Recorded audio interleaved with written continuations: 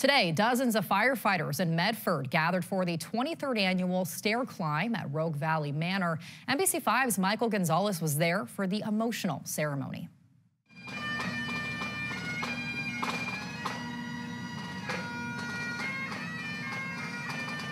Never forget. That was a message on this anniversary of one of the worst days in U.S. history.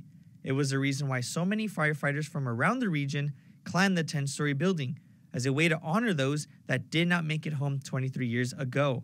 It's something that we can do here locally to show our support for the 343 firefighters who lost their lives back in 2001, and it still it still means something to us today. So we can share in the in the tradition of climbing the towers like they did on that day.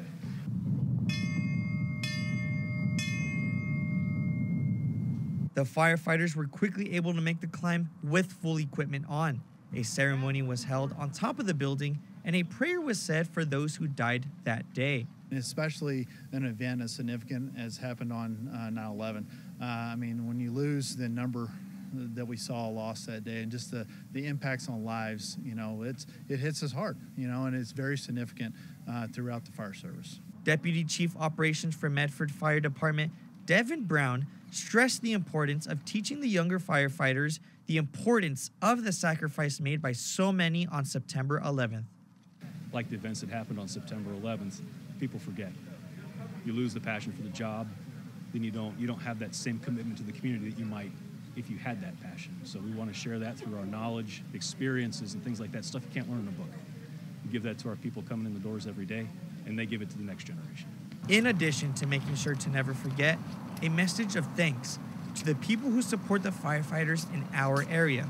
What I want to tell the community is thank you for supporting us because it does take your support for us to go out and do the best job that we can with the best equipment that we can get to do the best job to serve our communities.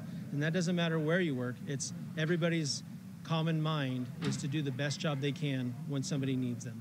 In Medford, Michael Gonzalez, NBC 5 News. Fire Chief Thompson said the events of 9-11 created a standstill within fire departments around the world and changed the way they operate today.